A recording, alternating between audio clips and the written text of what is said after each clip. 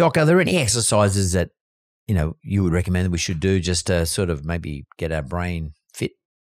Yeah, the brain loves being challenged. So anything new helps the brain. And whether that's, for instance, learning a new language, having a new hobby, doing dancing, getting a new, you know, interest in life, that grows the brain.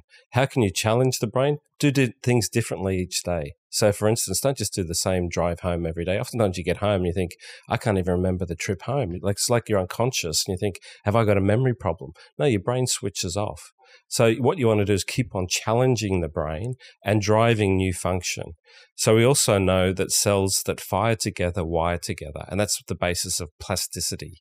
So we know that if you can try and increase different approaches, you'll strengthen the connections across brain networks, which is important for brain health. The brain does get bored Oh, really? Oh, so that's one of the reasons. Um, maybe I, I, I, can't remember why who told me this, but I, I change hands with toothbrushes. Like some mornings I'll do left, some mornings I'll do right, some mornings I'll start on the right and start, or another mornings I'll start on the left. So you're saying that Perfect. stuff is actually like a brain exercise. It's an important brain exercise, and I think deep down you're a brain enthusiast. So I think you've got you, you love this challenge, and I think we all have to do these things. This the challenge is incredibly important for brain health. Could, could that be um, uh, and a reason why people, when they do something they don't want to do, for example, let's say it's middle of winter, and um, and I'm all nice and cozy and warm, and I jump in one of those ice baths, and my I feel great after it, but exactly. I don't want to get in it. But exactly after it, I think I'm glad I did that. Yeah,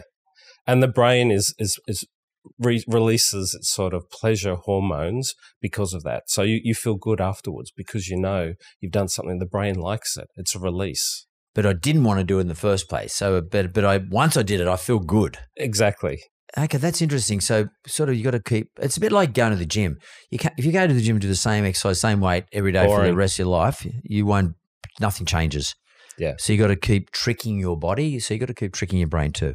Yeah, and I think you know learning new tasks, learning new languages. I mean, the brain is always ready to be activated. Is there any point in time in your age when you should stop that or just keep doing it?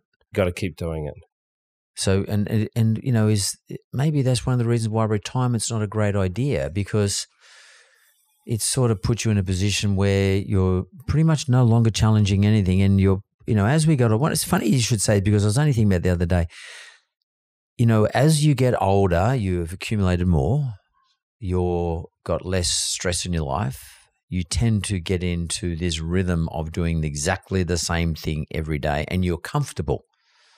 And I often wondered to myself, is that a reason why we age? Because we're no longer challenged.